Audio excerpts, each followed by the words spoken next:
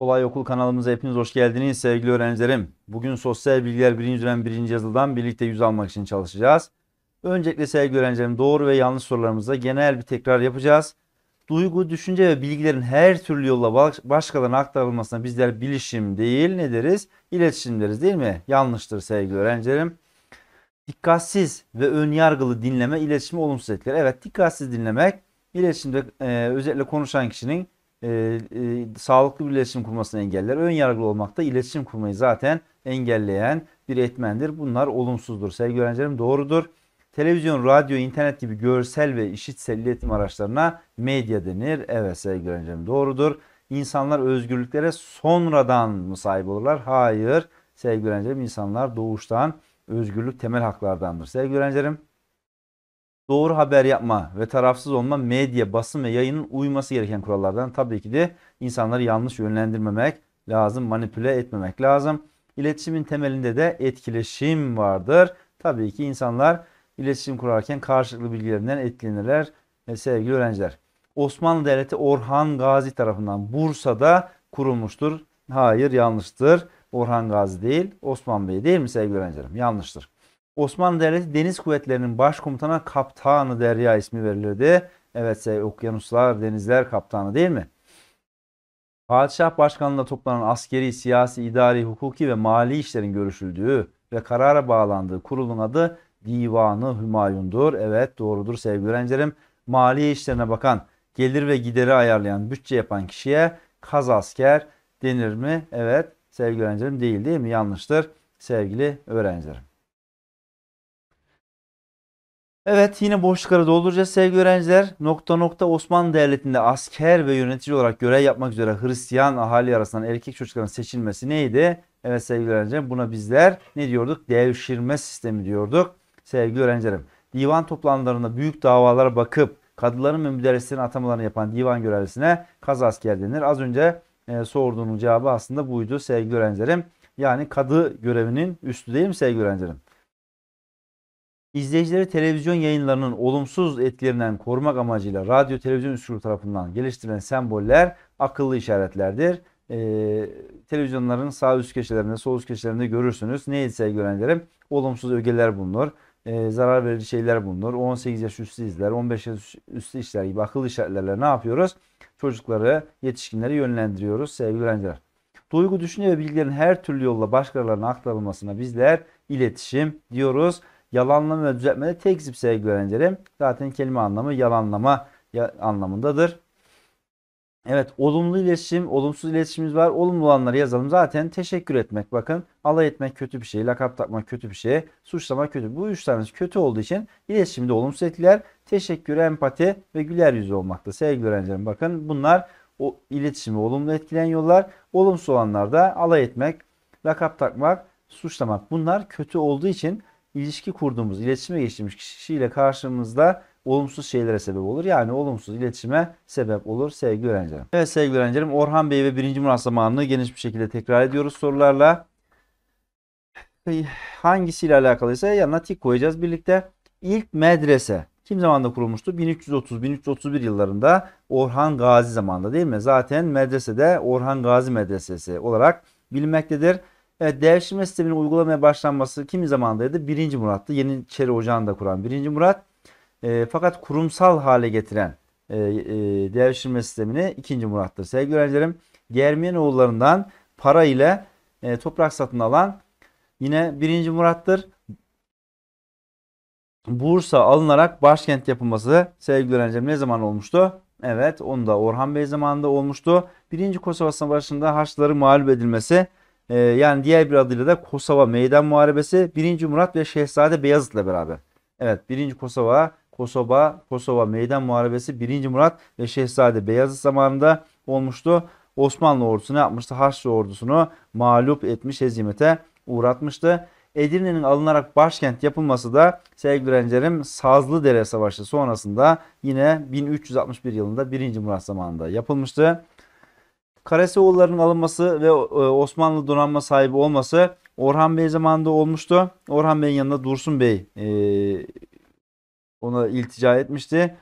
Daha sonra Karesilerin de e, Dursun Bey'i istemesiyle sefer düzenlemişti Orhan Bey e, normalde e, karesi değil diğer birkaç tane vilayet alacaktı. Fakat e, orada kaleden gelen bir okla ne olmuştu? Dursun Bey ölünce Karesioğulları'nda Orhan Bey ne yapmıştı? Osmanlı topraklarına katmış, fethetmiş olmuştu sevgili öğrencilerim. Yaya ve Müsellim adıyla kurulan ilk düzenli ordu da yine Orhan Bey zamanında olmuştu. E, çoğunlukla atlı birliklerden oluşuyordu sevgili öğrencilerim. Aşağıda verilen kavramlar arasında ile ilişkilendirme yapınız.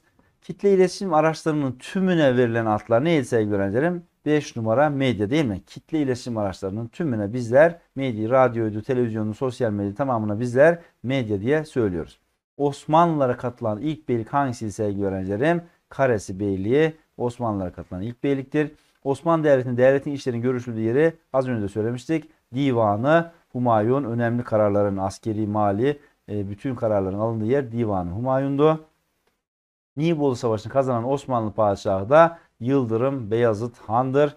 Rumeli'de alınan ilk yerde sevgili öğrencilerim neresiydi? Çimpe Kalesi'dir. Evet buradan soru gelebilir. Lütfen bunları geniş bir şekilde okuyalım. Bizler özet olarak burada söylüyorum yazılı için. Fakat bunların ayrıntılarını da lütfen okumaya çalışalım. Ankara'da üniversite öğrencisi olan Ayşe bir gazete haberinde bir yakının trafik kazası geçirdiğini okur ve hemen ailesini arar. Ancak haberin gerçek olmadığını öğrenir. Bakın burada hangi hak göz ardı edilmiştir diye soruluyor. Yani yanlış bir haber verildiği için özel hayat, basın ve sağlık değil doğru haber alma hakkı ne yapılmıştır? Ee, etkilenmiştir sevgili öğrencilerim. Ee, bu hakla ilgili göz ardı edilmiş olmuş oluyor.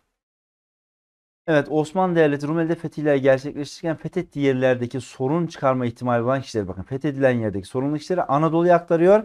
Bir yerden de fethettiği yerlere Anadolu'dan Türk halkını getirip iskan politikası yani oraya yerleşme politikası yapıyor. Hangisi iskan siyasetinin devlete sağladığı yararlardan değildir diyor.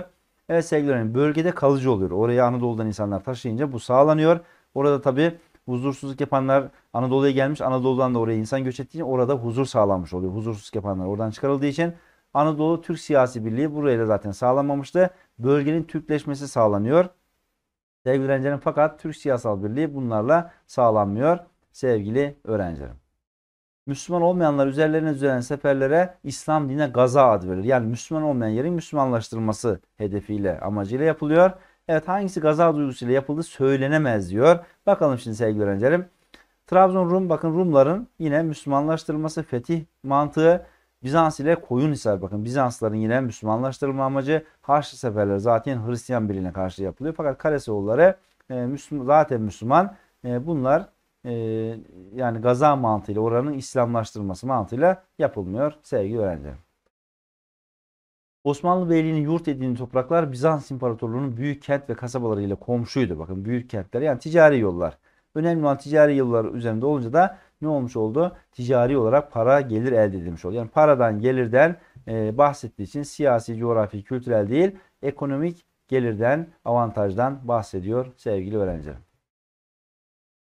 Askeri, siyasi, idari, hukuki ve mali işlerin görüşüldüğü ve karara bağlandığı kurula ne denirdi? Divanı Humayun denirdi sevgili öğrencilerim. Bunu az önce de söylemiştik. Hangisi Divanı Humayun'un bölümlerinden biri değildir? Yani Divanı Humayun'a e, katılanlardan bahsediyor. Sadrazam, Nişancı, Kazasker bunlar zaten asli üyeler, bölümler. Fakat Beylerbeyi değildi. Sadece Rumeli Beylerbeyi diğer e, normal Beylerbeyilerinden kıdemli, üstün olduğu için e, rütbesi yükseltilerek kubbe altı vezirliğine daha sonradan e, Divan Humayun'a katılmıştır. Fakat normalde Beylerbeyliği Divan Humayun'un e, asli üyelerinden değil. Sadece Rumeli Beylerbeyi e, bazen katılıyordu. Bunu bilelim sevgili öğrencilerim.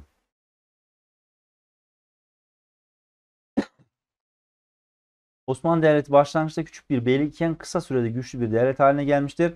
Osmanlı Devleti'nin kısa sürede büyümesinin ve güçlenmesinin sebepleri arasında hangisi gösterilemez? Kısa sürede büyümesi ve gelişmesi. Yani hep olumlu şeylerden bakacağız. Olmayan şeyi soruyor, olumsuz bulacağız. Anadolu'da güçlü bir devletin olmaması Osmanlı'ya fırsat sağlamıştır. Halk üzerinde baskıcı bir politika izlenmesi. Bakın bu olumsuz. Halka yapılan baskı halkın sizi sevmenizi, gelişmenizi, büyümenizi sağlar mı? Hayır sağlamaz. Bu olumsuz. Cihat ve gaza hareketlerine devam edilmesi tabi Müslümanlaştırılınca kendilerine tabi oluyorlar ve sağlam bir birliktelik sağlanıyor. Kurulduğu bölgenin coğrafi konumda tabii ki önemlidir sevgili öğrencilerim. Fakat halk üzerine baskıcı politika yapmak bu sizin güçlenmenizi, büyümenizi sağlamaz. Evet sevgili öğrencilerim sosyal sorularımız bu kadar. Bir sonraki yazılarımızda görüşmek üzere. Kendinize çok çok iyi bakın.